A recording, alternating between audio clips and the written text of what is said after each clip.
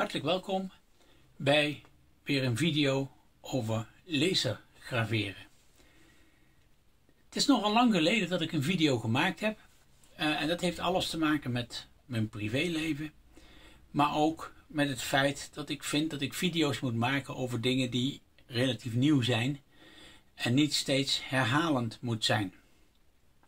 Binnenkort zal er een grote update uitkomen van Lightburn en dat zal ongetwijfeld uh, ook weer een video opleveren. Toch vandaag een kleine video. En ik ga niet het hele proces laten zien, omdat in veel van mijn video's dat proces herhaald is. Um, ik uh, bestel regelmatig spullen bij AliExpress in China. Je zult zeggen van ja, China, ja, China is goedkoop. En vooral als het gaat om laserzaken. Ik heb daar besteld, um, ja, eigenlijk notitieblokjes met een lederen, dan wel kunstlederen uh, omhulsel. Uh, het ziet er heel fraai uit. Dit is misschien op de video wat moeilijker te zien. Maar het mooie is dat ik een achterzijde heb die ik gelezen kan. En ik heb een voorzijde die ik onder dat logo hier lezen kan. En dat ga ik vandaag doen. Dus ik ga maken een, um, ja, uh, een zal ik zeggen, een ontwerp hiervoor, zeg maar. Dat kan van alles zijn natuurlijk. Hè. Ik snap, uh, je moet je eigen fantasie erop loslaten hoe je dit uh, gaat doen. Um, ik ga dat doen met een spreuk en een afbeelding op de voorzijde, op de achterzijde een gedicht. En um, ja, dat ga ik doen. Nou, dat gedicht op de achterzijde is sowieso heel erg gemakkelijk, want dat is gewoon een kwestie van een tekst met een, met een leuk lettertype. Wel even van tevoren uitrekenen hoeveel ruimte je eigenlijk hebt om keurig te belezen. En dan moet je natuurlijk niet het hele rechthoek nemen, maar een klein beetje aan de binnenkant, zodat het er ook een beetje, uh, ja, classy uitziet, zeg maar. Dat is eigenlijk waar het me om gaat. Um, daarnaast, um, aan de voorzijde, ja, daar kun je alles maken. In dit geval is dat een, uh, zijn twee afbeeldingen. En daarbij gebruik ik, als je in Lightburn staat en je hebt die afbeelding erin staan, rechtsklikken en dan afbeelding overtrekken. Uh, en dat is wat ik hierop ga lezen. Waarbij ik wel gebruik maak overwegend van lijntekeningen. Um, ondanks dat het straks de functie vul gebruikt gaat worden. Dus zowel bij het lettertype als ook bij de afbeelding aan de voorzijde gebruiken we de vulfunctie. En um, nou goed, qua instellingen um, zal het zijn uh, 6000 mm per minuut bij 25% power. Dat namelijk heb ik al eens eerder gebruikt op kunstleer. En ook daar heb ik toen de tijd een video van gemaakt. Dat ging om, um, ik dacht om portemonnees, meen ik me te herinneren, portefeuilles, portemonnees. Um, nu gaan we notitieboekjes lezen.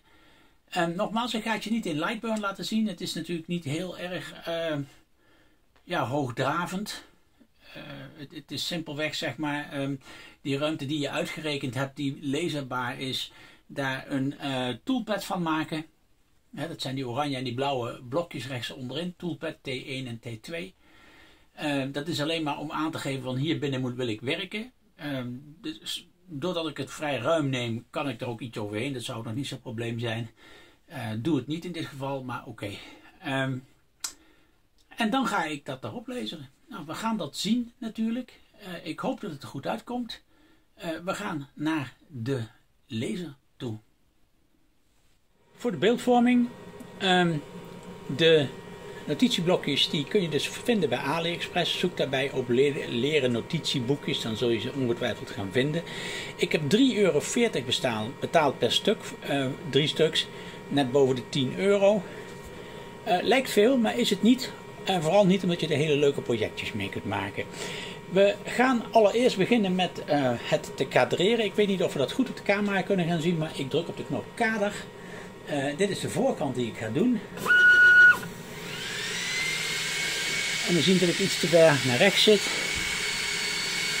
Dus ik ga het recht leggen. Oh.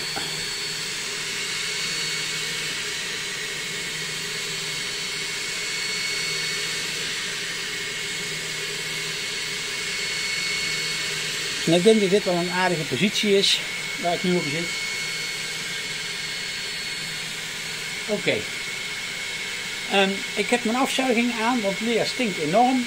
Ik ga mijn uh, omkasting openlaten voor u vandaag.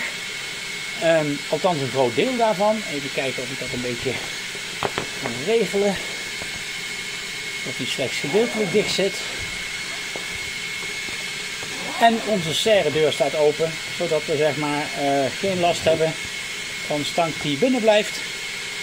Um, ik ga dit opstarten en dan uh, gaan we zometeen natuurlijk kijken naar het resultaat. Ik hoop dat het goed gaat. We zullen vanzelf zien.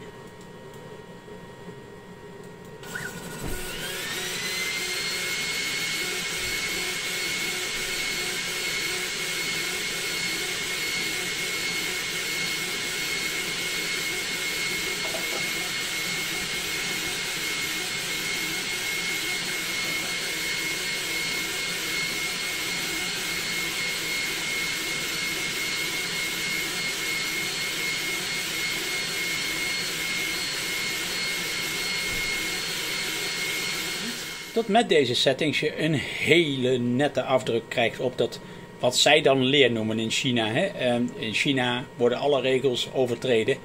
En dat betekent dat wat zij leer noemen is in, is in, in werkelijkheid kunstleer. Ik ga nu de achterkant uh, uplijnen, oplijnen en die gaan we uh, ook laseren natuurlijk. Deze gekaderd en gaan we opstarten. Overigens hier ook voor de letters weer de vul-functie gebruikt.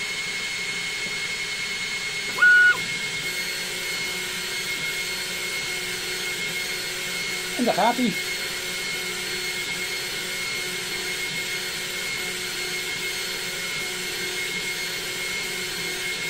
Zometeen gaan we natuurlijk het resultaat zien. En dit is dan de achterzijde. Ook deze heel fraai gelukt.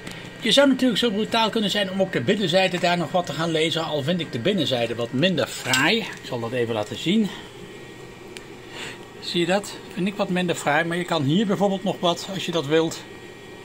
Um, en zo kan je dus een heel mooi, zeer gepersonaliseerd cadeautje maken voor iemand. Ik zal hem even dichtmaken en dan zal ik het opnieuw nog even laten zien. Ja. Um, overigens, net als met dit uh, stuurwiel, zit er ook aan de binnenzijde nog zo'n stuurwiel, zeg maar, als bladlegger.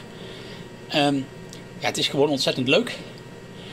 Um, zo hebben ze trouwens ook hele leuke uh, ja, pennen en potloodhouders die je op kunt rollen en die aan de buitenkant een schatkaart zijn. En ook daarop zou je weer dingen kunnen lezen.